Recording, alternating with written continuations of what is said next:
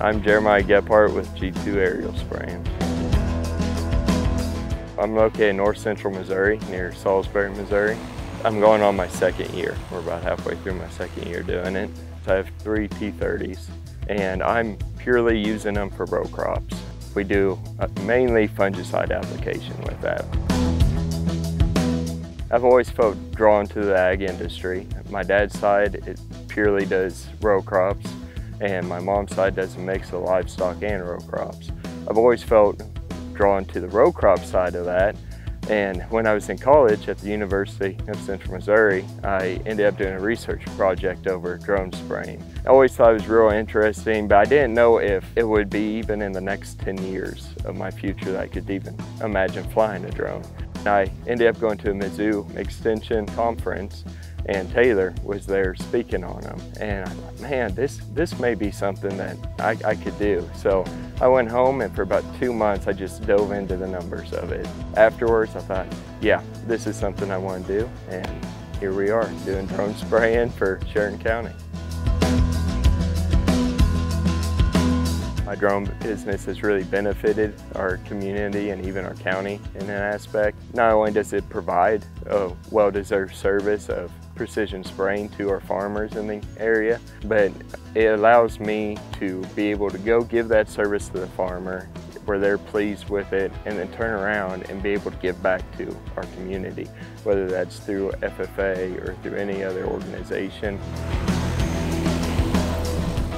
AgriSpray drones has been pretty vital for me. Anytime I had any problems, I knew I could call them and they'd answer.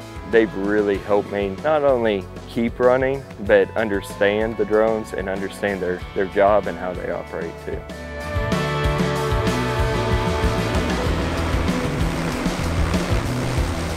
You don't compete with the ground sprayers because ground sprayers, they can do a good job and do a lot of acres. Normally I'm in the aerial application, so competing with planes and helicopters, which they could cover a lot more ground than I can. But the precision benefits of the drone outweighs that to me. Around here, you got some great running bottom ground, but you also got a lot of hill ground. And that hill ground, those drones do a thousand times better job than, than any other aerial application can.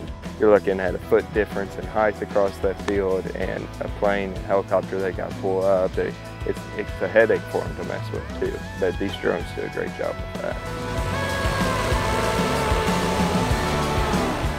The challenges I really face getting into the industry, figuring out the technology, learning it for myself, a lot of long hours. Doing custom spraying, you, you got a quota of acres you want to hit to make these things pay off, and to do so you got, you got to put in the time.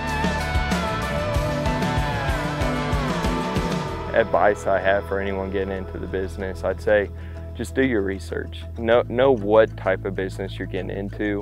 When you do, you need to be able to, one, present it to the farmers in a selling way that this, these are the benefits of these drones. And then you also need to know the research of how the drones work, how they run, because you will have to troubleshoot problems. You will, and it'll be after hours when everybody's closed, and it's important that you know how to fix those problems. So research, research, research is, is my big advice for anyone getting into it.